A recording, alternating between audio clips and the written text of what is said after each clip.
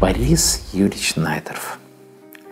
Я хочу рассказать о нем, о моем учителе, Бенсоне Израильевиче Сапожникове, Борисе Юрьевиче Найдерфе, о деде Боре, которого я знаю с детства, потому что он дружил с моим отцом. Удивительный человек.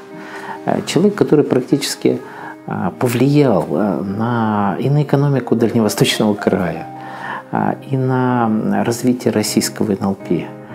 Человек, которому когда-то мы, при, придя, рассказали о том, что мы договорились о тренинге, который Борис Юрьевич, конечно же, должен провести в далеком дальневосточном городе. И когда Борис Юрьевич сказал – ну вот вы и поедете, и проведете.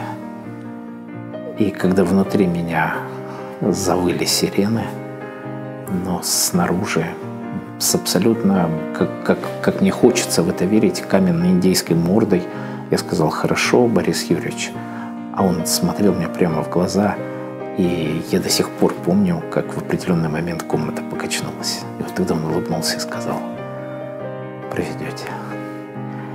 И это человек, который практически дал мне а, билет в царство тренингов, а, билет в нейролингвистическое программирование. Человек, которому я благодарен за его рассказы и истории, за его байки, за его таро